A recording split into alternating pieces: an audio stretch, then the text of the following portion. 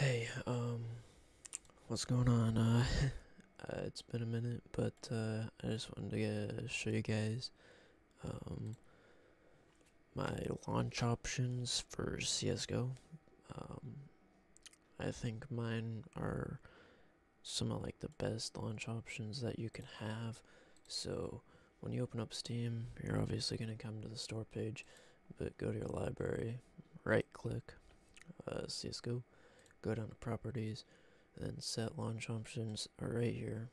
Um, there is a bunch of stuff in here.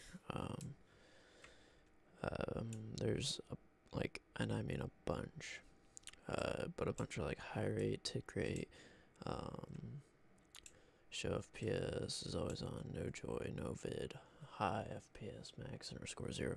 So like, all of these are what I use and uh, yeah you guys don't have to copy all this down but because it'll be in the description you can just copy and paste it all in. And uh, yeah so these launch options you just after you set them you just click ok and then close it out. And then I'm gonna hop over to CSGO it should come up. I'll just make sure that you guys can see. I think you'll be able to see my game. I'm not too sure but um, so um, there's 400 FPS right here. Uh, so this will always come up. Um, and then there's no video when you start up CSGO, the little intro, it doesn't pop up.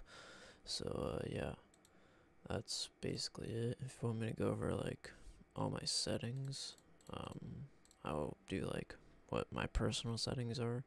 And uh, yeah, so if you enjoyed, leave a like, comment, and subscribe.